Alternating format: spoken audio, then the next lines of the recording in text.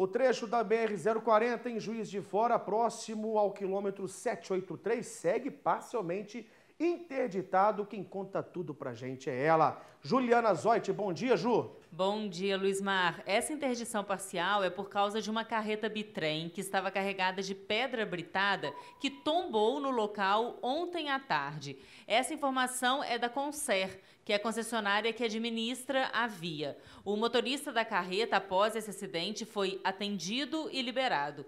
A Concer informou ainda que não há previsão da liberação total desse trecho. Então, ele já está parcialmente liberado, mas ainda não há previsão dele ser totalmente liberado por causa desse acidente aí, desse tombamento de carreta. Uma operação delicada também para o destombamento dessa carreta também para recolhimento de toda a carga. Você vê que, apesar desse acidente ali, o trecho não é tão longo, né? é um trecho curto, ali apertado até chegar o guincho, fazer toda a manobra. Por conta disso, ainda segue parcialmente interditado esse trecho da BR-040. Fica ligado, você motorista que vai acessar a BR-040 no trecho. Ali, a, a pista está interditada, então fique bastante atento para evitar outros acidentes.